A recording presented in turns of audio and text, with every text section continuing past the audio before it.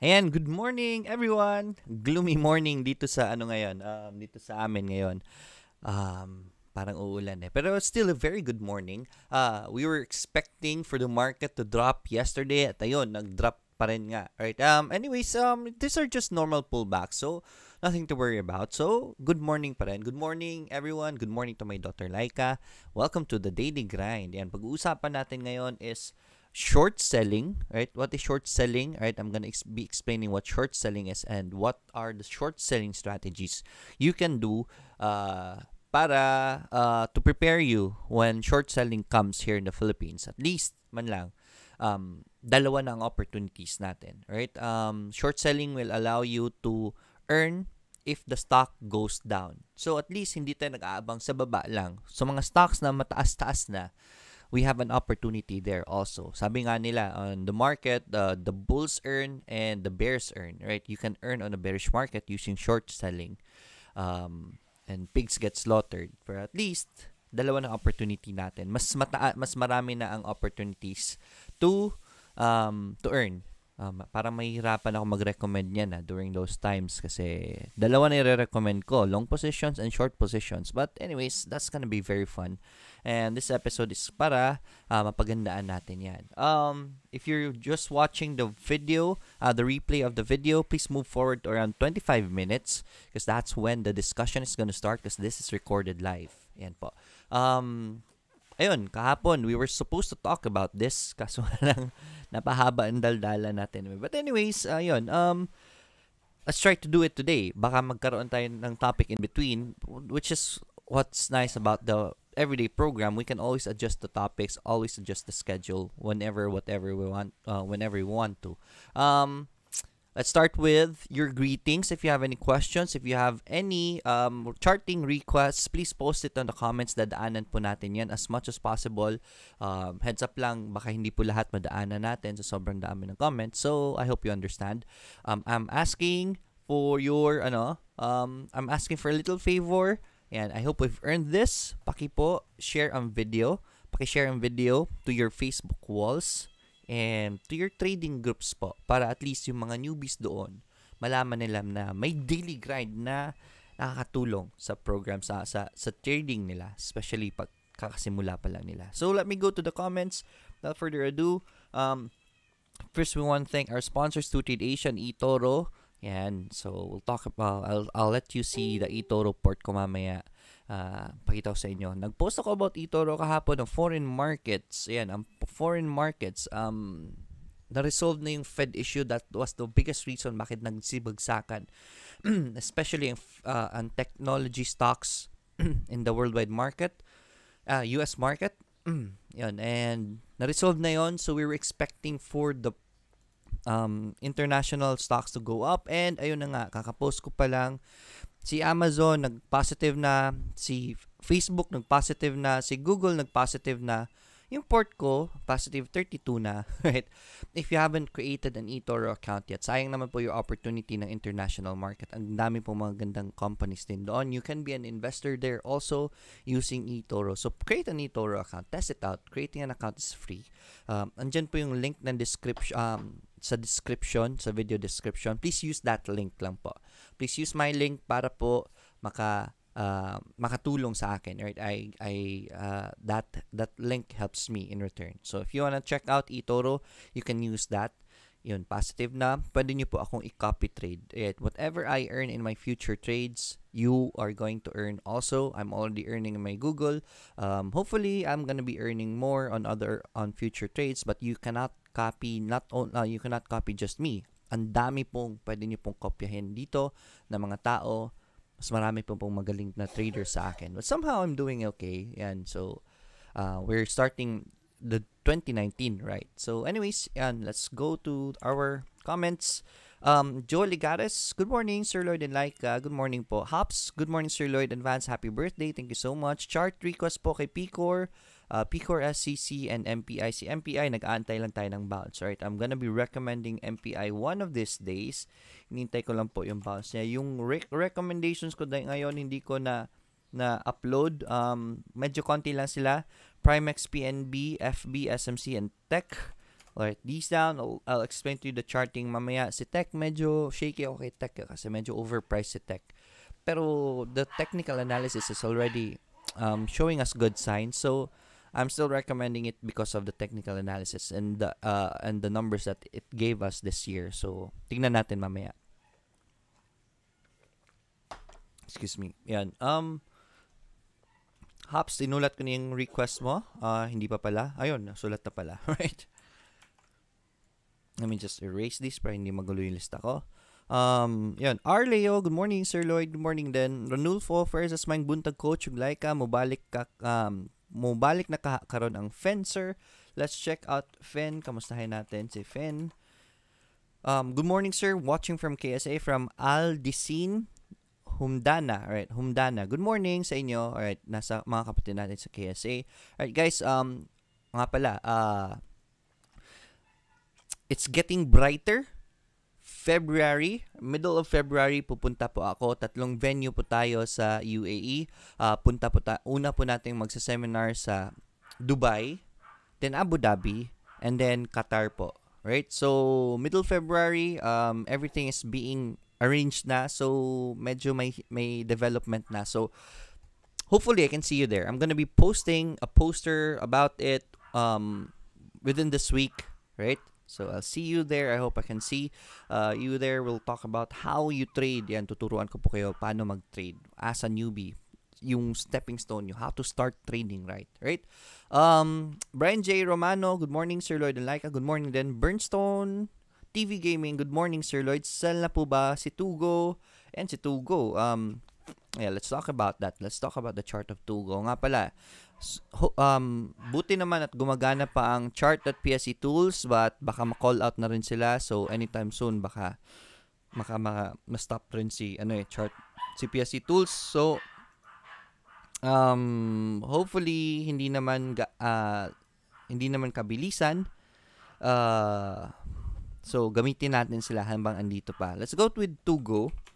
Right Tugo is here Ayan. So, recommended to go here during the day, the pullback and MA20 bounce. So, we're seeing higher highs, higher lows. I don't think it's a sell, right? Ayoko ibenta muna ito because we're seeing an uptrend right here, right? After this pullback, we're seeing a slow uptrend. So, kakasimula pa lang na uptrend na yan. Uh, hard to tell. But if you are, um, yung lesson natin sa taking profits, if your risk to reward ratio is hit already, right? Your target profit mo is hit already. Um, be wary of any weaknesses. Pag may nakita kang weakness, you can always sell half just to be safe, right? Um, kasi nagpo-pull back din ang market eh. So, very good question, Burnstone, Burnstone TV. Yan, let me move my camera ng konti. Ayan, nasa gitna na ako. Oop, oop, yan. Ella Montefalco, good morning. Uh, Aldicin, Jumdana. Sir ISM po, let's check, check out chok tuloy. Let's check out ISM in a while. Um, expected naman yung pullback kay ISM. That's why I didn't recommend ISM yesterday. Um, kasi, yun, um, it was, that's why I don't really like you guys to go after Bollinger Band triggers. Always wait for a pullback. I always told you, I've been telling you always lately na wag po breakouts muna ang lalaruin ninyo kasi manipis pa ang market. So it's not really that bullish and you don't have to be ag- that aggressive in this kind of market. ISM, it's doing a pullback. Just wait for the bounce. Maganda naman yung uptrend line ni ISM. Uh, may nakikita na naman ako na scare tactics ng mga tao about Udena kasi nagsisimula daw sa Udena ng negosyo gamit ang utang. Daw maganda yon um, as far as I know, karamihan ng mga negosyo nagsimula sa utang at may lahat ng negosyo may lahat halos lahat ng mga negosyo may utang pa rin. Uh, actually, they encourage debt kasi um, ano nga ba yung explanation nun for the businessman? They encourage debt because it doesn't give them red flags sa net worth nila, right? So, sa tax din, uh, mas maganda if may debt sila. Uh, I forgot the explanation on ng kaibigan ko negosyante but we'll talk more about that. Guys, yung utang ni Udena, they are very wise investments. Look at ano ang inuutang niya first and what is the purpose before we can say pangit ang utang kasi dalawang sides ang utang may good debt and may bad debt and so far I'm seeing good debt naman ang ginagawa ni ni ano ni Udena right so yon.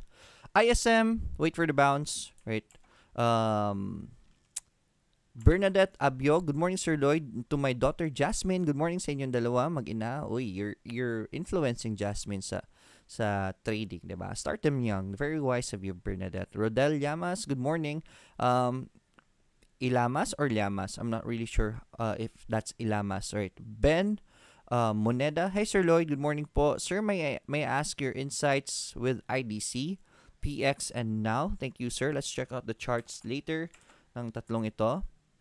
Right. Christian Cortez, haha.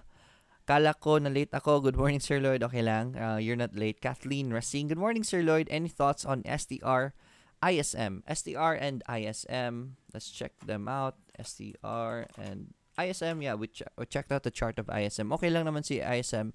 Just wait for the bounce. Um, Dong J, aniantay po natin yung January 31 ng ISM. Let's see how what the movement is kasi ngayon ang kinatatakutan ng mga tao, majority of them, they're afraid na hindi matuloy yung backdoor ni ISM at Udena, 'di ba? Um, so far wala pa namang balita na hindi matutuloy. Um, all uh, all uh, all lights are green pa. So I'm not seeing anything to be afraid of. Uh, if ever may bad news tayo makita, let's just sell. But so far, wala pa naman. Um, other than that, yun ang pinaka-biggest concern ng mga investors. Um, yung ibang concern ng mga tao is baka mag 3 pesos daw. I don't think that will happen. Um, I'm pretty confident it won't happen. Um, ibang concern pa is um, is Udena daw expanding too fast for his own good? I don't think that's the case. Also, because Udena has the what they call this has the credibility already. They have good businesses, right? They they're one of the biggest petroleum companies here, so the holdings itself is one of the best holdings uh, in the Philippines right now. So I don't think um, he's growing too fast for his own good, right? Kaya nga gumanda ang credit ratings nila because all the management of the businesses that he have has been doing well. Kaya pinapautang po siya, right? Mahirap po ganyan pag hindi ka pinapautang but the but the uh the banks are letting him borrow because they see the worth uh, uh, the management skills of Udena. And Steve Gordon, good morning Sir Lloyd, IDC and MRC please. IDC and MRC. Okay naman si MRC ang galaw eh, right? MRC. Alright, let's check them out later. Dana Angela, good morning Sir Lloyd and like MPI po. Um, MPI, yeah, um, nag-antay lang tayo ng bounce kay MPI. Anytime soon, it's uh, mahihinog din yan. Pag nag-bounce yan, baka mag-bounce within the day. You can be aggressive kasi napakamura pa rin naman ni MPI. You can be aggressive in these kinds of stocks. Pwede nyo pasukin ka agad yan pag may nag-bounce today. I think it's gonna bounce today. Right? So, Lauren, good morning Sir Lloyd. Casel John Visaya, good morning Sir Lloyd. Pal paluyo, uh, pasuyo po ng FLI, Bcor, uh, PCOR, AC, and AP. And let's check out these companies. These are very picks from you. Christian, Cortez, Sir Lloyd, okay pa ba ang CLC? PCOR, SMC, and BDO. Right, si CLC, I think it's still okay. Nagpo-pull back lang naman yung mga market kasi yesterday, uh, yesterday kasi after consecutive wins, CLCP Core, SMC, and BDO. SMC, I'm still recommending SMC. The support is still holding. So, okay pa rin naman si, uh, si SMC. BDO, tignan natin si BDO. Sulat ko si BDO tsaka si P-Core. si B-Core. Ayan, nasulat na natin si P-Core pala. Ang daming nag-aantay kay P-Core. Eh. Roy Anthony Castillo, good morning Sir Lord. And um, Vita and Popey please. Vita and Popey. Let's check them out. Si Popey, ni-recommend ko noong MA20 niya. And there it is. Um, medyo mataas na ngayon si Popey. Uh, but let's check out if pwede na bang pasukin ulit. Right? MA20 bounce, I recommended it here. Right? So, I recommended Popey here. Perfect MA20 bounce. Nagpula siya the next day This is what I'm telling you always, guys. It takes time for stock to move. Nag-break siya ng MA20, but that's okay. Hindi pa naman na-hit yung cut loss natin dyan. I usually use MA20 as my support and I cut loss negative 3 below that. If hindi kayo nag-cut loss, then boom, Good job mga pumasok. Very good volume yesterday.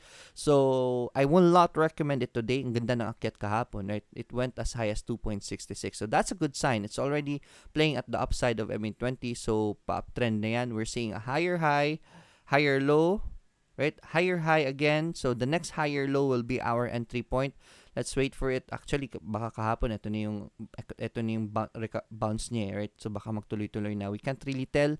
Ang hirap na sabihin ngayon. Noon po, this is the best entry point, point kay Poppy. Uh, right now, I can see, I cannot see a buy uh, buy uh, area for Poppy. So, it's really hard to tell as of the moment. Let's wait for the next pullback lang talaga. Or next solid pullback. Marami kasing ano dito eh, marami kasing windows of opportunity. You can use a breakout strategy or you can wait for another breakout.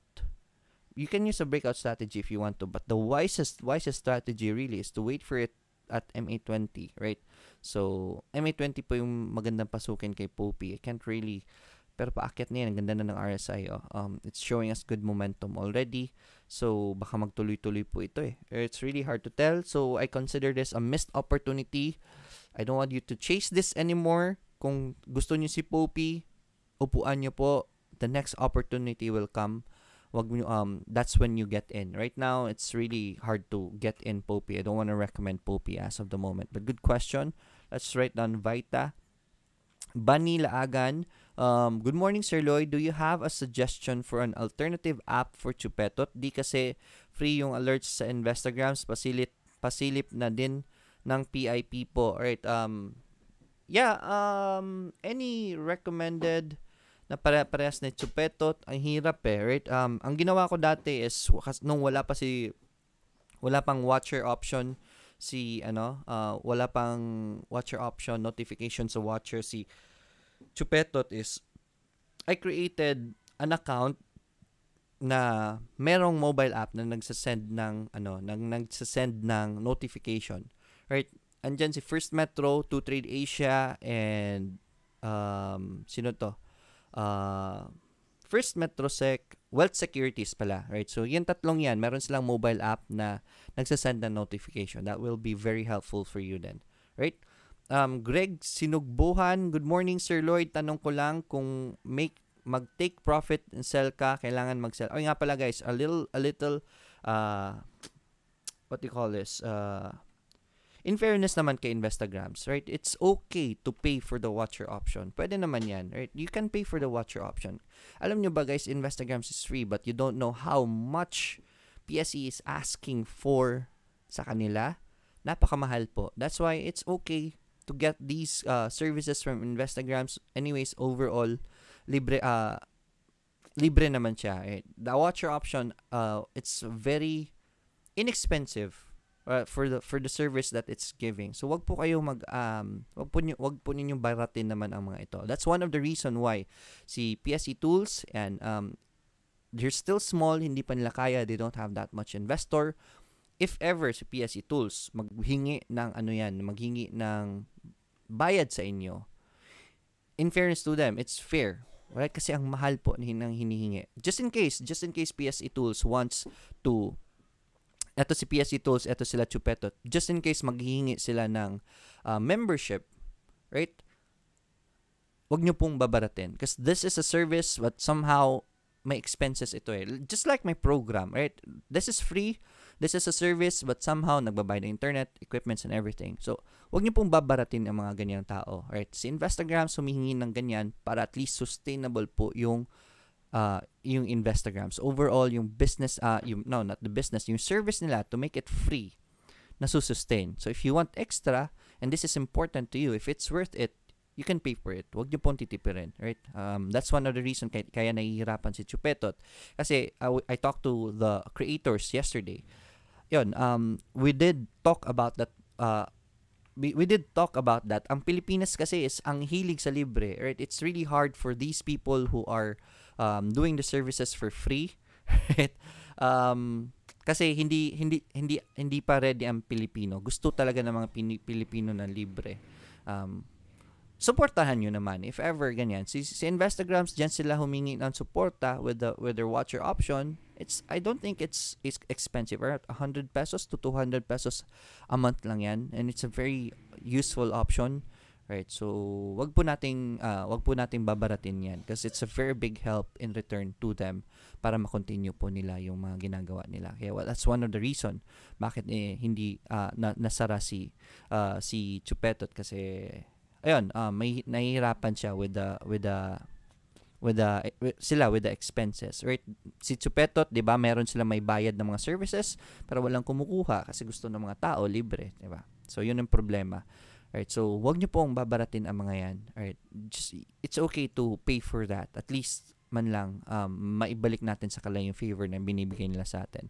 Greg Sinugbohan, good morning Sir Lloyd. Tanong ko lang kung mag-take prof, uh, take profit, sell half, kailan mag-sell again sa other another half?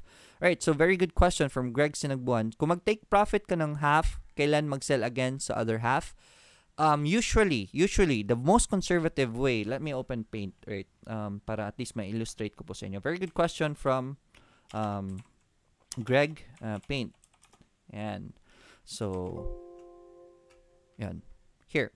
Um, di ba ganito ang tinuturo ko? For example, mag-uptrend ang stock, ang ganyan, and then shows a weakness. This is where you sell half.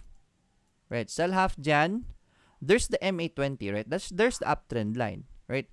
Ang gusto kong gawin, in, um, the, ang unang tinuturo ko sa inyo, except for example, you bought it here, you sell half here, and then the other half ride, and then pinaka-safe na cut loss is make it break even. Kung kailan mo siya binili, ano average mo, pag na-hit yung price, where, that's where you sell it. Sell all. Right? This is the conservative approach. You can be aggressive and perform a, a trailing stop loss. Trailing stop loss is, for example, MA20 yung recent support, then this is this becomes your support. If ever mag, uh, mag break siya ng support, you sell all here. This is called trailing stops. You can sell all here, right? Or, pwede rin naman na sa next na bounce, and it bounces, right? You can sell half here. Sell half mo dito, sell half. And then if it bounces, right? Kung ayaw mo nang bumili dito, it's okay. You can use this most recent support as your support so that if it breaks that support, then that's where you sell all. This is called trailing stop loss, right? You can sell all there, but at least kung dito ka bumili, overall nag-gain ka. Anyway, short term lang naman ang purpose mo. You can do that, right? Ako, sa long terms ko, ginagawa ko is this one. Especially, example, sila Jollibee, sa baba ko nabili. Right? If it does this, I can sell half here if I want to. If ever it breaks the MA20, pwede ko pong, or, or the uptrend line, pwede ko po i-sell all dyan. But since I'm into long term kay Jollibee, iniintay ko pa yung buying area ko, yung average ko. If my average is hit, doon po ako magbebenta ng lahat. Pero hindi naman na-hit yung average ko. So, I'm still keeping the other half and just waiting for the next bounces to buy more. Right? Magbabuy more po ako dyan. Right? So, I hope that's clear. Very um very good question, Greg. Um, Alan Ibarbia, good morning, Sir Lloyd. And let me close this one out. Um, good morning, Sir Lloyd. Pa puso po SDR, CPM, and Primex. SDR is already there. CPM, and Primex. Primex is one in one of my recommendations for today. Um, ito po yung mga recommendations ko. Let me write this these down. And hi sir EW, please from El Razo. Let's write down EW. And then Sir Lloyd, maganda um good morning to you and your family. Pwede pa explain sa sinasabi nilang 8K rule in trading. Thanks. Um 8K rule in trading is 'di ba may, meron tayong mga charges, meron meron mga charges and tax na binabayaran whenever we buy and whenever we sell. Um 8K rule, at least kung 8K kasi ang binibili mo, mas mabilis ang tubo ng pera mo. At least kung tumubo man yan ng around 1%, nakabawi ka na. Right? So, kasi ang hirap ibawi pag nasa 5K lang ang bili mo or uh, 8K lower. Right? That's why I don't trade Actually, ang ginagawa ko is 10K usually. Ang tinetest buy ko, pinakamababa kong test buy is around 20,000 pesos.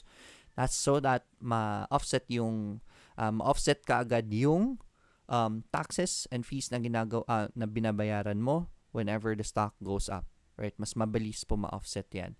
Okay lang naman kung mababa ang, mababa ang kung 5K lang ibili mo, pwede naman yan as long as you're entered for long term. Ma-offset naman yan. Pero kung magalaw ka masyado sa stock market, you're gonna be fa- paying fees um, most of the time. Better make, uh, mas, ma- mas maganda if sulitin mo. Right? 8K is the very least na tolerable levels um, to trade. Right? Day Al-Qaeda, good morning sir. Vul po. Alright, let's check out Vul in a while. Um, time check, it's 8.43. Let's start the discussion at 8.45. Um, marami pong comments na dapat basahin. Kim Kaiser Pedreza, Good morning Sir Lloyd, SMC po. Ako, nagbodega, tama po ba? Based po sa mga videos nyo about retracements, it's, it's, is it time to buy na po? Yes, it is actually. I've been recommending SMC for two days already because we're seeing a support already. Rodrigo Calios, Good morning Sir Lloyd. Christian Cortez, I'm using Investograms for my cut loss target price alert. Kaso, may bayad 300 pesos to one month, uh, ang one month, and then 2K and one year. Yun nga lang, may bayad. Um, 300 pesos, I'm not really sure if that's, ano, uh, that's, uh, that's fair for a price. Yun nga lang, medyo mahal nga rin doon. Um, but yeah, I think that's the price na sinasabi ni Investograms para makabawi sila at kumita naman sila. Right, um, Chupetot is aiming for somehow break even lang at least ma, ma ano ma ma-sustain lang nila ang service nila. So hopefully maano natin 'yan, ma mas uh, ma-solve nila 'yan in the future. Right? I'm trying to help Chupetot then look for a client. Hopefully matulungan ko sila. But right now, um, medyo hirap eh. Ang, lakas, uh, ang laki ng kailangan ni PSP. Ang laki ng hinihingi ni PSP. Should you want to know, uh, 5,000 USD po ang hinihingi nila na one-time pay um, down, uh, first initial payment. 5,000 is like quarter of a million 250,000 pesos. That's a lot. And yun uh, sad to say hindi kaya ni Chupetot yan. And then there's 12,000 pesos quarterly so around almost um 60k for for ano for almost 60k for ano 40 48 almost 50k a year after that. So hindi kaya ni Chupetot for now. Right? Rodrigo Calios, um, now po sir, right? Tignan natin yan. Cecil Pange, Maing Buntang Sir Lloyd, Bull and ISM, please. Right? Check, let's check them out. Janelle Abunal, uh, Poppy and Bloom, please. Right? Let's write these down. Right? Poppy and Bull. Right? Good morning, Sir Lloyd, from Dominica here. Right? Good morning sa inyo.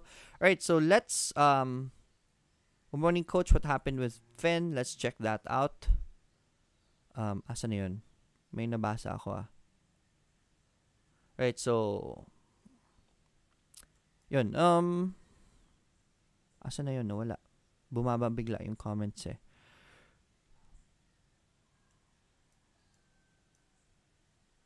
One moment. Uh, uh, Saudi sir from um Zacarias Marcos seminar pud ka diri sa Saudi. Hopefully I can. Sana sana pwede. Right? I'll ask my organizer if kaya natin yan. Anyways,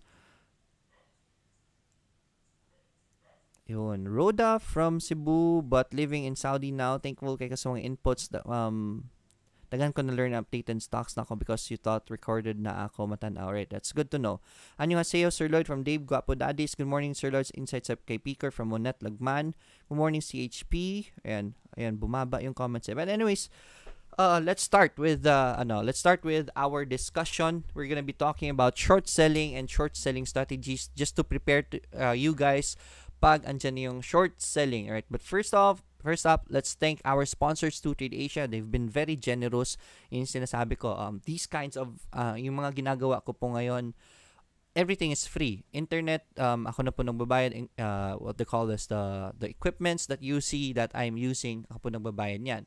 And since 2Trade Asia has been helping us, yan, kung napapansin niyo po, hindi ako gaano nanghihingi ngayon ng uh, donation. If you want to, you can. But at least I'm sustainable now because of the help of the sponsors, diba? So, ang laking tulong po ng mga sponsors.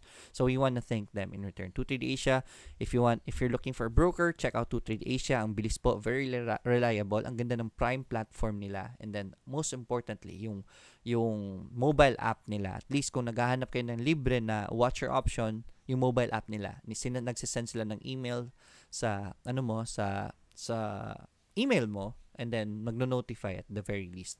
Right? So, let's start. Short selling. Ano ba ang short selling?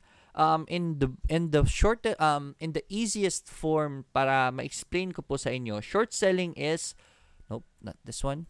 Short selling is basically betting, right? Not betting, pero trying to guess if uh if the stock is going down and you earn in return pag bumagsak ang stock. For example, 'di ba? Ang nakasanayan natin is pag umaakit ang stock, yan ganyan, at pumasok tayo dito, we earn if the stock goes up. That's called a long position. Meron tayong short position where kabaliktaran naman ang nangyayari, sorry, kabaliktaran naman, kalik, uh, kabaliktaran naman ang nangyayari pag bumagsak ang stock, right? And then we short sell it here while it's going down, you are earning also. So that's another opportunity to earn. That is basically how you earn in short selling. Now, I want to explain to you paano ka kikita Sir Lloyd na bumabagsak naman yung stock, 'di ba? So, 'yun. Um this is what happens to explain to you guys, right?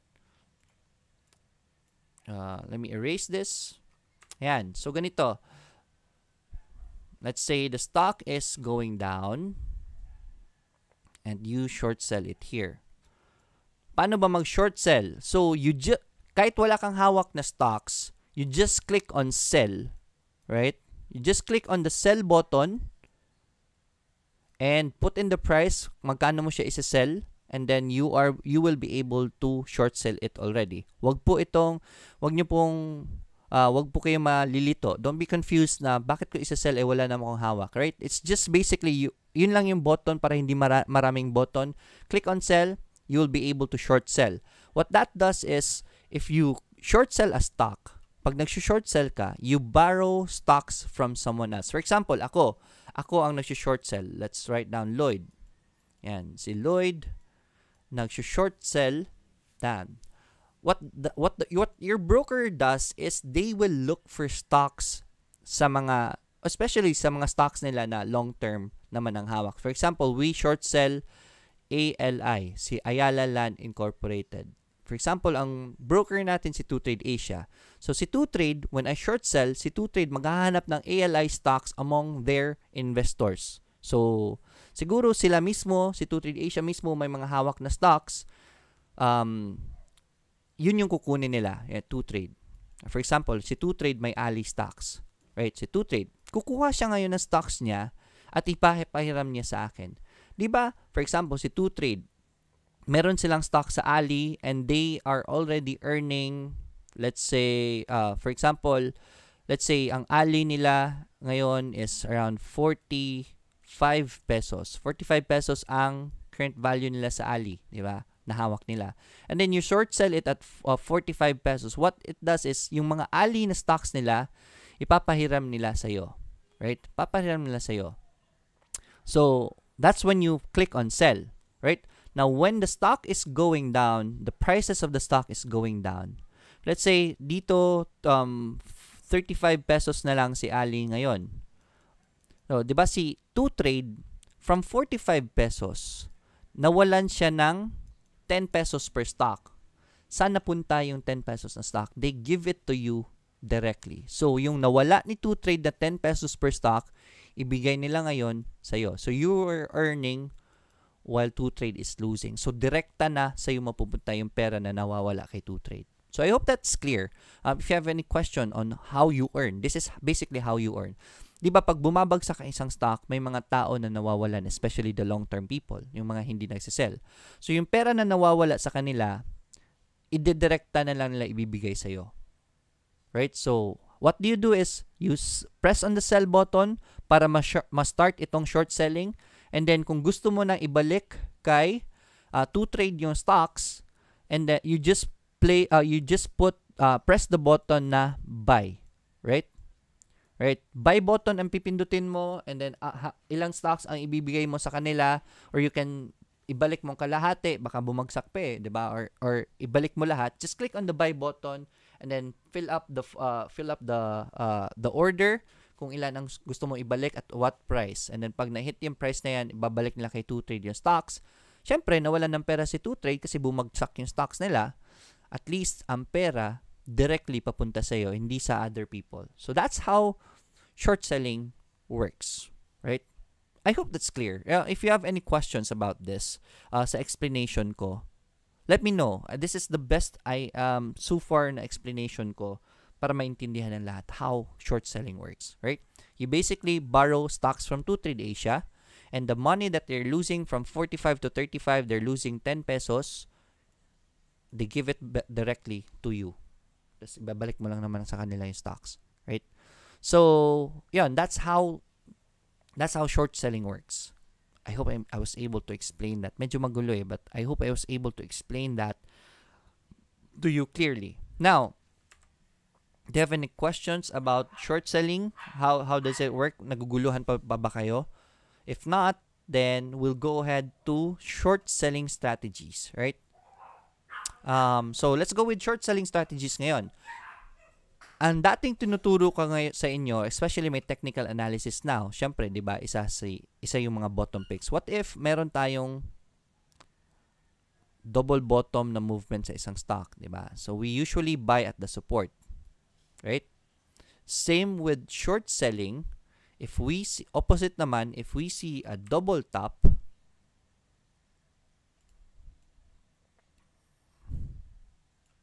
right? Usually, that's a sell signal because the resistance is very strong, right? Pag nagda-double tap ang isang stock, right? Especially paired with RSI, if ang RSI is pababa, right? That's a divergence. You should sell here already. A, a good example of this is JFC noon. Sana may short selling nga noon. Ginagain tayo sa pagbagsak ni JFC. Eh. So, let's check out JFC. Right, nangyari to kay JFC noon. Right. So, this is JFC.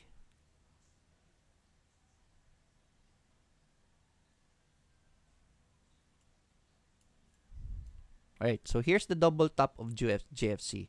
Here, dalawang beses siya nagtuktok dito. It did break out for a bit, for a little bit dito, from here to here. Tanggalin ko lang si Bollinger Bands. Right, so nag-double top siya dito, but look at this guys. Ang RSI niya is pababa. So, Jollibee from that point, hindi na nakapag-recover. We're seeing lower highs now. So, that's another opportunity to sell uh, to short sell kasi that's a confirmation na pa downtrend na siya, 'di ba? Pag lower high and lower lows, right?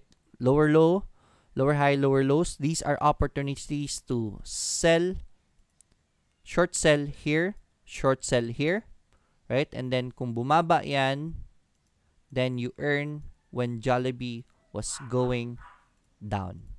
So we have another double top here dito, pakita ko po sa inyo. While Jollibee is going down, kumikita kayo dyan. Right? Another double tap is here. This one right here. ba diba? Dalawang beses siya gumawa ng tuktok. Let me remove this. Another double tap here. This is the top and top. Right? RSI is sideways naman but that's a double another double top so this is another opportunity to short sell so while bumabagsak ang isang stock you will be earning this this is one thing you will be looking for on a stock Especially pag nasa tuktok na. Pag hindi kayo nakapasok dito sa baba, edi antayin niyo yung tuktok. Pag gumawa ng tuktok yan, that's when you sell. Right? Another another upper uh, another strategy for short selling is this one right here. Higher highs but RSI is going down. Right? So kanina ang tinuro ko sa inyo was double top. Ang, ang susunod nyo naman na aantayin or, or what you want to look for is when this formation happens, higher high, right? So, pataas yung resistance niya. But RSI, yung resistance ng RSI, pababa. So, pataas ang presyo na resistance, but the resistance of RSI is going down. Same with GFC. This happened also. We predicted this na babagsak si Jollibee. Bakit? Yung second top niya here. Pataas ang presyo, but RSI is going down, we were if you short sell it here, you would have been earning nung pabagsak si Jollibee. Right? Bumagsak si Jollibee, even created a double bottom. There it is. And then buy ka ulit dito. Sinauli mo, then buy ka dito. Right? Because we we have a buy signal here naman na double bottom and then conver- uh, divergence din na packet yung RSI. Right? So, at least ngayon, kung bumagsak si Jollibee, kita ka. Pag nakita mo na parang aakit si Jollibee, I did recommend Jollibee here. Aakit si Jollibee, kita ka ulit. Pag tingin mo na babagsak na si Jollibee, benta mo ulit. Right? Short sell mo. So, while it's going down, you earn. While it's going up, you earn. While it's going down, you earn. while it's going up, you earn, mas mabilis po ang kita natin ngayon sa PSE if ever that happens. That's why I'm waiting for it kasi ang dami pong opportunities to be able to earn pag ganyan. So, mababawasan ng mga buhusan pag nangyayari ito. Kasi people, mag, maraming, nag, maraming nang nag-aabang sa, sa buhusan eh. People will be more patient kasi, uy, mataas na ang stock. Uy, umaakyat siya hindi na siya ma- ma- mainip, hindi na siya maiinggit kasi he, he has something to wait for ngayon. Ang iniintay niya naman ngayon is bumagsak ang isang stock. If dati lagi kayo naiipit kasi hinahabol niyo sa taas, ayan po, may short selling na para kumita kayo kung papasok man kayo sa taas. At least i-short sell niyo na lang kasi babagsak yan. Kung magaling kayo maipit, this might be an opportunity for you. Um, para at least yung ipit nyo kumikita na kayo, right? Magpaipit lang kayo when this happens. Right? Um so those are those are good strategies for um short selling. Another one is the uh, Fibonacci retracement, right? So Fibonacci right, for example, may nakita tayo na stock na ganito ang galaw and then right that we use the Fibonacci retracement, yan, lalabas yung mga line yan, di ba? Yan. So, ga- ganun ang lalabas kay Fibonacci and you look for the 0.61 na uh, na line. If the price pierces the 0.61 line, that means that's a possible reversal. Pwede na nating i-short to anytime soon because that's a reversal. We just wait for the retracement and then if we see the lower high, which is the lower high right here, right? This is the previous high, this is the lower high. This lower high, high is the confirmation na reversal na nga siya, right? If we see the lower high here, pwede na natin i-short sell yan dito, sell it kasi papaba na yan kasi reversal na yan ng uptrend niya. So I hope that's clear. You check out the 61 sa Fibonacci retracements. Pag tumagos yung presyo, that's a signal na it is a reversal. You just wait for the confirmation which is a lower high. Yun yung po importante dyan, lower high. Pag may nakita kayong lower high, then that will be your um, that will be your confirmation na pwede na siya short sell and bababa na yan. So, you earn when it goes down. So, basically, hinuhulaan mo ngayon kung babagsak na siya or hindi. Especially sa mga stocks na masyado mataas na, yes, babagsak po yan. It will happen and people will earn on short selling. Right? Um, this is one method also um uh, application ito. Nangyari ito kay JFC um kay JFC din eh. Si JFC na rin ang gawin nating ano kasi I really teach my students na if you have a technical analysis uh, doon nyo po i-practice sa mga blue chips. Kasi mas mas predictable ang mga galaw nun especially sa mga blue chips. So here right here we have galawin natin Bollinger Bands. Alright, so we have a break of the MA20. So this is a sideways trend right here already. So let's remove Bollinger Bands. Right, so we can use Fibonacci retracement on this level right here because this is the start of the trend. Where's the Fibonacci dito? Right, Fibonacci retracement from here. Ito yung pinakamababa na point kasi nag-sideways na siya from this point to this point. So let's say, ganito pa ang nangyayari So you don't really know, palakin ko lang ito. Let me go full screen. Right, so this is the lowest point from the sideways trend and then this is the highest point of that trend. So nag-uptrend siya ng saglit, right? It broke, no, it, it didn't break the MA20, wala tayong MA20 dito. But ito yung tinitignan natin, right? 0.618. This is what I'm talking about, 0.618. Inaantay po natin yung 0.618. This pullback right here, hindi siya umabot sa 0. 0.618. The 0.618 line is dito, but the pullback, this pullback right here, hanggang 0.5 in the middle of 0.5 and 0.618 lang siya. So we really can't tell kung magda-downtrend na ito or hindi. Right? And then, sa hindi pa clear, there it is, umakyat pa. So we now move our Fibonacci line higher. Diyan and we'll wait for the future pullbacks to to pierce the 0.618 line and there it is right here the 618 line is here yung last na pullback after this one tumagos sa 0.618 line this is the 0.618 line again but this price moved below 0.618 line Now, we have a signal na there's a possible reversal. We just wait for the confirmation. A confirmation again will be a hi- lower high. So, mas mababa na tuktok. If that happens, there it is. Yan. So, if that happens, mas mababa na tuktok right here, then we know that this stock is already going on a downtrend kasi according to Fibonacci, that's a change of uh, that's a reversal already. So you short sell it at that area. Kung binenta mo yan yan kumita ka na sa pagbagsak niya. So we're seeing now lower highs lower lows. So downtrend na siya. So you wait umakyat siya ulit gumawa ng double top that's another opportunity to short sell it. Kung short sell niyo ulit yan there it is kumita na kayo sa pagbagsak ni Jollibee. Right so that's how you earn also. Right let me check out your comments if you have any questions about this. Um, uh, what if opposite ang nangyari pag short sell, sir? So, if you think that it's gonna go down, very good question. We have a question dito. Burnstone, Burnstone TV Gaming, paano po kapag umakyat yung price habang ginagawa mo yung short selling? So, let me cancel. So, ganito naman. Alright. De- delikado ang short selling in this way. Right? Very good question. I forgot to how do you put your how do you defend yourself from short selling? So here naman so for example um, we're seeing a lower high already and then you buy the stock here right? So let me remove this. So you short sell it here. Short sell right? Short sell it there. What if umakyat ang stock after that? Then basically you're losing right? Kasi you will lose. Kasi yung hiniraman mo ng stocks, umakyat yung pera niya, so ikaw ang kukunan ng pera ngayon. For example, kanina, ang example natin si 2Trade. 2Trade. 2Trade has it at 45 pesos. Short sell mo at 45 pesos. Ako naman dito, for example, I short, short sell it at 45 pesos. Now, umakyat eh, di ba? Umakyat ang stocks dito. Let's say naging 50 pesos na siya.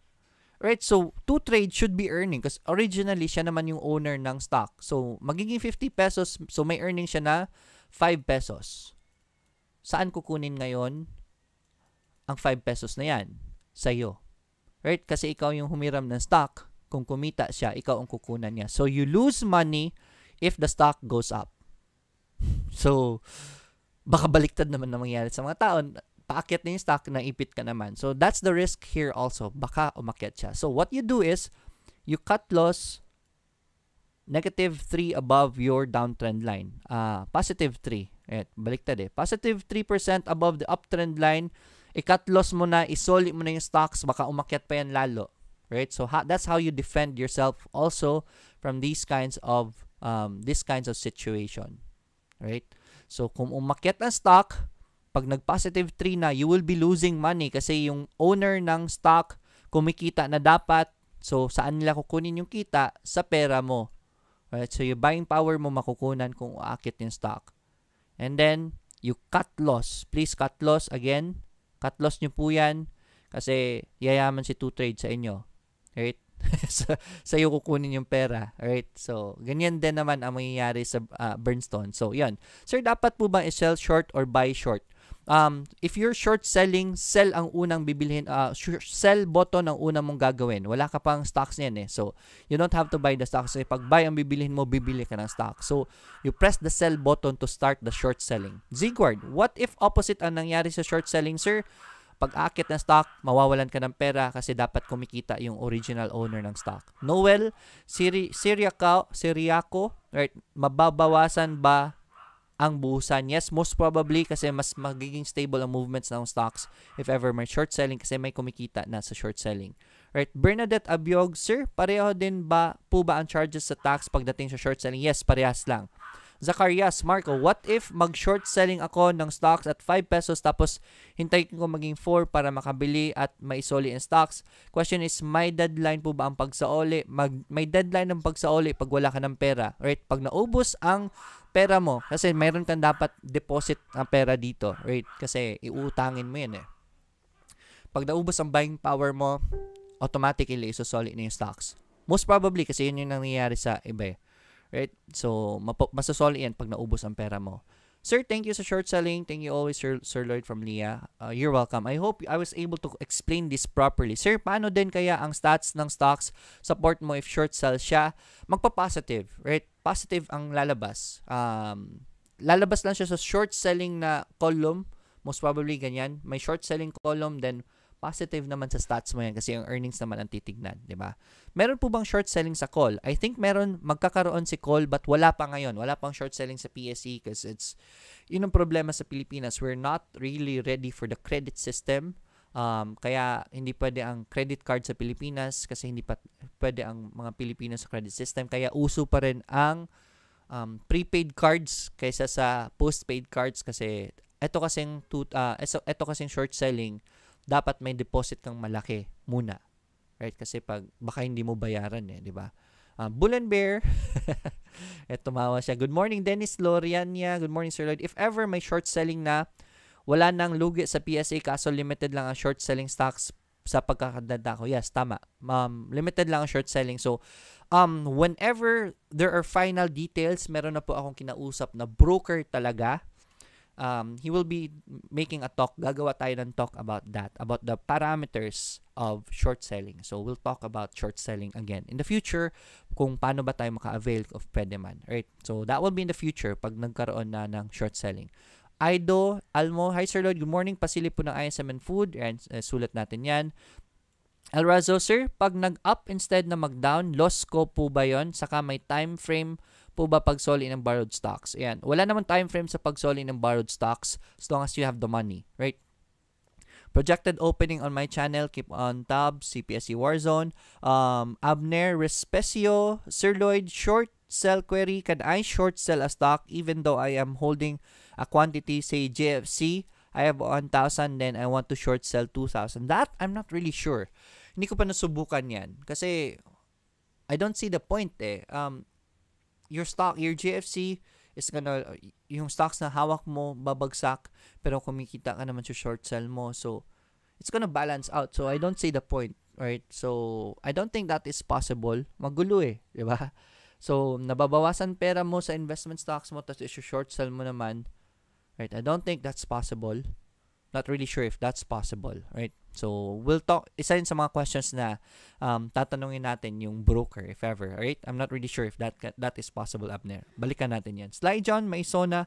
Uh, sir, bakit niyo po dinidiscuss ang short selling magkakaroon na ba tayo niyan? Yes, actually, nag-promise si PSEI na mag-short sell na last quarter ng 2018 kaso hindi natuloy. So, hopefully, matutuloy na yan this year, right? So, I'm just preparing everyone, right? Weng, Salde, may time frame po ba sir na how long you can borrow stock? Um, as, as far as I know, wala eh. Richard Bolisay, good morning Sir Lloyd. Musta po ISM CLC? So far, so good. Sir, dapat may BP ka pang cut loss. Yeah, tama yan. right, dapat may BP ka. Parang, ang dali lang ah. yes, madali lang naman ang short selling.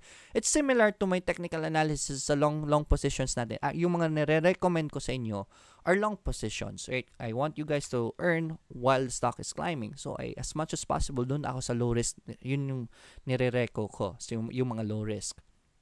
So, opposite naman, yung mga high risk positions, kasi mataas na risk doon, well, why not let's make it an opportunity and di i-bet natin na babagsak na yan. Kasi usually pag overpriced na yung isang stock, babagsak din naman yan, mag, magkakabentahan. So why not earn while the stock is going down? At least, hindi na kayo maingit, hula, nagsiling si ECP. Pag umakyat yan sa ceiling, edi short sell nyo na. di ba? So, hindi na kayo maiingit, hindi na kayo mafo-FOMO. Right? So, yan. Um, question from Ambo Books. Uh, follow-up question, sir. With that, sir, pag tayo kumita sa shirt, short, shirt selling, short selling, pwede natin ibalik uh, original owner. What if sila ang kumita sa hiniram na stock? Ibalik din ba nila yon? Et hindi eh, ikaw eh. It's up to you. If ikakat loss mo, kumikita naman sila eh. I'm earning from you and I'm still earning kasi umakyat. Bakit ko kukunin ka agad yan? ba? Diba? Hindi ko kukunin kasi kum- kumikita ako from you eh, ba? So it's up to you if you want to return it. Kung gusto mo pang kung martir ka at titiisin mo ang sakit, edi hawakan mo, 'di ba? But it's up to you if you want to return it. At um I don't see any reason bakit if for example um uh, ako ang may-ari ng stocks, ako yung nahiraman. It it won't really matter kung sino may hiraman. Um, that's not a problem. But Hindi eh. Um, it won't really matter kasi I'm earning already in my stocks. Hindi ko naman makikita yan. Kung ano, ang nakikita ko lang is that my stock is earning. Pag umaakit ang stocks ko, I'm earning this percentage. So, can't really, ano, siguro kung gusto ko na i-sell, tapos hinahawakan mo pa. So, that will be the problem there. Uh, we'll ask our broker, uh, guest in the future about that. So, very good point, Ambo Books. Ma Manjaris, Lupena, paano kung wala kang buying power, paano ka mababawasan? Yun, yun, yung, yun yung ano, yun yung biggest question natin, paano ba magka-short sell? Sabi ng kaibigan ko, most probably, you will have to deposit a certain amount. Ang alam ko, 250,000 eh. 250,000 so that you will be allowed. Hindi, hindi, hindi pa yan confirmed ha. You should have 250,000 na naka-deposit right? Naka-deposit at hindi gagalawin. Right? You should have that amount uh, para kung mag-short sell ka at then mabawasan ang pera mo, dun siya baba- mababawas. Right? So, yun yung initial requirements nila to be able to do short selling. June mainit. Hi Sir Lloyd, morning dyan sa inyo. Good morning sa inyo. Dyan sa Rome. Yan, June mainit. Um, sa mga Roma traders, good morning sa inyo. Ben Concepcion, Sir, inform po ba ni broker yung hiniram ng stocks? Hindi naman, not necessarily. Kasi ang makikita mo sa port mo, kumikita ka eh, di ba? or if you're losing stocks, right? Um, they will have a pool of stocks na hawakan nila. So you don't really have to concern yourself if stocks mo ang hiniram or hindi, right? They will be able to um, may system para dyan na hindi nyo mafe-feel kung st- uh, stocks nyo ba ang hinihiram or not. Right? Ellie Flores, what if the owner of the stocks you borrow decides to sell the stocks? Pwede naman nila i-swap-swap yan. So don't we don't really have to worry about that. Wag niyo po, wag po kayong uh, wag po kayong, don't concern yourselves na yung stocks yung hiramin, you won't be able to feel that kung kaninong stocks ang hinihiram nila kasi napakaraming stocks po dyan, right? That's re- not really a big concern sa short selling kung sino hihiraman. Kathleen Racing, thanks Sir Lloyd, cool on short selling, same rules lang din pala. Yes, same din pa. May charges po ba on short selling? Same with buying long and short. May magiging boy plunger na sa Pinas. He will take his life at the end. Sir, very interesting topic. Maraming salamat at mabuhay. Right. I'm ho- I'm happy I can help. Coach, salamat po sa inyo. God bless you more. Right. Maganda ba short selling para sa laging naiipit, downtrend following? Right. O nga, eh, damat. Same lang din po ang market ng short selling sa normal selling o nakahiwalay po. Um, same lang naman. Right, Shells DV, paano mo isasoli yung stocks? Di ba pag short selling, i-click mo yung sell. Paano mo profit take ka na po, sir? You just press on the buy button and isusoli mo na yan. Right? This is from Shells TV. Uh, Sir Lloyd, what if po nakabili ka sa mataas ngayon, tas sell mo kasi bumaba ng stock na hawak mo, in short, naipit before, sell ngayon. Um, not really sure. Uh, Sir, what if po nakabili ka sa mataas ngayon, tas sell mo kasi bumaba na stock na hawak mo? In short, naipit before, sell ngayon. Um, if naipit ka, you will be losing. Right, ganito yan eh, 'di ba? So let me let me let me see if I understand your uh, uh your question properly. Alright, so what if nakabili ka sa taas? Ganyan, 'di ba? So what if nakabili ka dito pero bumagsak ang stock at gusto mo i-short sell na lang? You have to sell your stocks first. As far as I know, sell your stocks first. Sell mo kaagad. And then pag benta mo dito, bumaba pa, pwede ka ngayon mag-short sell short mo na ngayon after dito kung magda-downtrend na yan. So, yeah, you can do that but you have to sell your stocks first and then short sell after. Right? Patrick Ilagan, Sir, Lloyd, sure na ba maging yun din na si ISM sa January 2021? I'm not 100% sure pero so far so good, wala namang bad news. So malaki yung chance na matutuloy. Weng Berba Salde, sir pag may short selling na magre-reco ka rin kaya pabagsak ng stocks. I think so, right? It will be mas malaking mas malaking issue na mas marami mas malaking trabaho na gagawin ko for recommendations. Ah. But anyways, yan, serbisyo publiko natin yan, hindi ko pwede magreklamo. So, yan, uh, sige, magre-recommend din ako for short selling. At least marami na yung opportunities natin. Jerome, quote sa eToro, short selling is just like buying until you have buying power. Yes, to, to, to, yan uh, from Jerome Gamboa. Pwede ang short selling sa eToro eh. As long as meron kang buying power, pwede mo i-short sell. Alot sa alot, sir. So, pwede ba talaga kumita sa pagbabash, lol? Dati, kumikita ang mga tao sa pag-hype. Ngayon, pwede nyo i-bash ang isang stock para bumagsak siya. Alright? Ang dami pong, um, marami pong, ano, marami pong nakulong dito dati because they they create uh, bad news sa stocks. Kaya nga isa si uh, si Elon, Elon Musk um, na naintriga siya dati, baka daw nagfo-fraud siya. Kasi yon naglalabas siya ng gumagawa siya ng mga pangit na bagay like for example nag nag nagmarijuana siya during an interview that caused the stock to go down. So marami pong nag-short sa stock ni Elon Musk ang daming kumita nung bumagsak yon. So nagkaroon ng investigation na baka sinadya nila para makumita sila sa sa sa pagbagsak ng isang stock, right? Zacarias Marco, pwede po bang mag-avail ako sa stocks for short selling na pwede Hulamon, Bisan, Kinsa, sir? Yes, uh, you don't really don't really concern yourself kung sino yung hihiraman, kung sino yung hihiraman, kung hihiraman ba ako. That's not a concern si broker na bahala dyan, may system para dyan para hindi niyo maramdaman. So don't worry about that, right? I was just uh, using that as a as a visual aid para at least makita niyo po na at maintindihan niyo po uh, lalo yung, ang, ang short selling. Sir, ano po mga stocks short selling sa eToro po? Actually, lahat na makikita nyo sa eToro pwede i-short sell. Right? Kasel, John Visaya, sir, charting na po. Mag, oh, 9.20 na. O nga pala, no? Sorry about that. Napadaldal tayo. Anyways, yes, let's go to my unahin natin recommendations. Bilisan ko lang. Right, sorry, hindi ko mo sasagot lahat kasi yung oras natin. Let's go with number one pick ko ngayon, si Primex, PRMX. Right, so Primex, I'm still recommending Primex. Nagko-confirm pa rin ng support. So, as much as possible, ito yung mga gusto kong stocks na pasukin. Yung mga nag sa stabilize pa. Dalawang support yan na very solid. So Primex, I think it's gonna be very good. Hindi ko lang alam kailan gagalaw yan. So pero pag gumalaw yan, at least ready na kayo, andyan na kayo. So position niyo na po yan, right? Wag mag wag, uh, wag magmadali.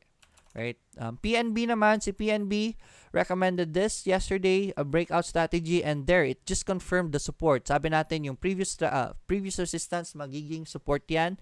And there it is, nagbabounce siya sa support niya. Actually, nagbounce na. So, PNB is still okay for me uh, pwede pang pasukin yan. And overall, it's still very cheap. Yan, napakamura pa rin ni PNB. Alright? Um, PNB, FB, recommending FB. We had a confirmation yesterday para maliit na, pa rin naman ang ginalaw niya. So, it's not yet too late to go after it. Breakout strategy po tayo dyan. This is your resist, uh, this is your support now. Buy as long as that support holds. The risk-wise naman, um, let's see how much your risk is. Just support is just negative 1.20% away from the support. So that's for FB. SMC, si SMC, pula siya kahapon, but even on a bearish market kahapon, um, even on a market pullback, it's still sustaining the support. Volume is still there. So, yeah, I am recommending SMC. Nagsisimula na po yung volume niya. So, uh, it's already accumulating. Wala na po nagbebenta na mas lower. So, this is a very good price for SMC. Pag nag-green yan today, pwede nyo pong pasukin yan. Lastly, si Tech naman. Right, so, yan. Um, si Tech naman, pula siya kahapon, but sustaining the support, even on the red market. Ito lang, medyo shaky ako dito. Uh, tech overall is still overpriced, right? Um, ang fair value ni Tech is around 8 to 10 pesos if I'm if I'm not if I'm not mistaken. So medyo overpriced siya but you can never deny technical analysis. Gumawa siya ng support dito, nag-bounce siya on a bearish market and ngayon market natin is okay na, nagsusustain na siya ngayon. So um volume starting to pick up, medyo tumataas na yung volume niya. The support is sustaining. So pag nag-green yan, pag nag-confirm ng support, pwede niyo po i-test yan. Test buy lang po, test buy lang kasi sideways trend pa yan. The trend is your friend sideways trend is not your friend. Uptrend po yung lalagyan natin ng malaking pera. So those are my recommendations for today. Time check 9:21. Let's go to the questions ng mga uh, requests ng mga tao. Picor, let's go so Picor. Ayan, Picor, double bottom, pula pa rin, but still sustaining the volume uh, the still sustaining the support. Volume is there. So nag-accumulate na si Picor please po, mag-accumulate kayo habang nasa support pa yan. Start accumulating PCOR. Right? I'm still recommending that. Hindi ko lang linagay sa recommendations ko ngayon kasi medyo pula. I'm waiting for the bounce. So, just wanna be safe in my recommendations. So, baka mag-bounce din today. Pwede nyo pasukin. SCC, Semirara, doing a pullback. Let's wait for it to bounce before we wanna get in. Pag nag-bounce yan, we will be seeing a higher high and a higher low. That will be our entry point. Yan, uptrend na si Semirara pag nag nagbigay ng ano yan ng ng what you call this ng signal of buying. Yet it already it has already broken its downtrend. So ayan antayin lang natin yung bounce that will be our confirmation pag nag-bounce Very good pick sa SEC. Let's just wait for the bounce. Same with MPI. Right, so MPI malapit na naman sa support. So this is a good opportunity for MPI. Let's wait for it to do a bounce before we wanna get in. Pag nag-bounce yan, ire-reco ko yan si MPI. Nag-abang lang ako. FEN naman, maraming nagtatanong, nagtatanong about FEN. Ano nangyari kay FEN? Uh, just technical analysis. Um, not really sure what happened kay FEN. Bakit nag, nag, nagrarally ng ganito. But, yeah, that this is what I'm telling you. You can never deny technical analysis kahit na yung fundamentals niya for this year, negative 152%, negative 96%, pero nagrarally. Because that's momentum. Hindi natin maiiwasan yan. Look at that. Bollinger Band trigger, MA20 bounce, and then there it is, nag-uptrend na. So, I don't wanna follow this anymore. Masyado mataas na yan. So, short sell na po natin yan. Right? Look at that. Um, ha, sana may short sell because I'm gonna be shorting this if I see a red kay Fen. Right? Pataas ang presyo right there. Uh, RSI is sideways na. RSI is already too high. So, delikado na yan. So, anytime soon, baka mag-short sell na yan. Maybe we can see a downtrend at pwede nating i-short sell yan kung may short sell na. But right now, when these kinds of position happen, monitorin nyo na po yan for any short selling signals. So, FEN, konting ingat kay FEN. Uh, konting ingat, malaking ingat, iwasan nyo po yan. Right? So, ISM naman, wait for the bounce before you wanna get in. Malapit na po January 31. So, hopefully something good happens. Right? IDC, doing a pullback. Uh, antayin lang natin yung uh, bounce niya. Masyadong exaggerated pa yan for me. Don't really want to enter it at this high of a uptrend. Pwede dyan or pwede MA20. Antayin natin yung bounces ni IDC. So far, wag mo munang habulin si IDC unless you are a momentum trader. Pwede yan mag-bounce and then um, uh, laruin nyo yung bounce. So, but I don't want to recommend that. IDC. Next is PX.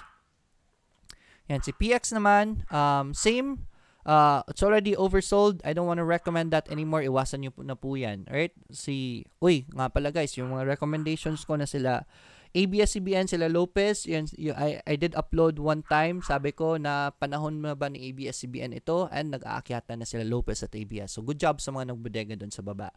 Um, next is IDCPX Now. Kumustahin natin si Now. And si Now is doing a pullback. Antayin po natin yung bounce ni Now around this level right here or MA20 the best. Right? So, wag niyo po habulin yan. Masyado mataas na yan. Right? STR naman, good volume yesterday. Um, I want STR to do a breakout na lang at the very least. Kung gusto niyo pong pasukin si STR, pa-breakout niyo po or make it do a pullback and bounce at MA20, around MA20 before you wanna uh, uh, wanna enter it. Alright guys, so it's ah, suspended pala si Fen. O nga pala, no? Um, didn't notice that. O nga pala kahapon, suspended si Fen. Um, tingnan ko bakit. I didn't really research about it. But anyways, it's 9.25. Napahaba pa yung usapan natin. Right? Pasensya na if hindi ko po ma-check yung chart ng lahat. But yeah, my recommendations today, yun lang. Konting ingat lang sa market. Still doing a pullback. We can't really tell if it's gonna bounce today or not. So, take profits if you can please. Hindi pa po makapal ang volume ni PSE kahit na bullish ang move niya. Volume's not really there yet. So, still stay light. If you need to take profits tulad ni Jollibee, dapat nag-sell half na po kayo. Huwag po nyo pong hahawakan ang stocks ninyo pag nandyan sa tuktok. You can always sell half if you see a weakness. Right? Not really sure why suspended eh. Pasensya na. Right? Anyways, Um, that's it for today. I'll see you again tomorrow. I'll think of a good topic for tomorrow. At announce ko pa yan bukas. As always, let's get rich together. Join the chat room, right? In chat room natin. And this Saturday, Sunday, I have a seminar, 9 in the morning. Send me a message if you want to join that. It will be very beneficial for you. Cebu, January 19, to be announced po yung venue. Let's get rich together. Have a great day. Bye-bye.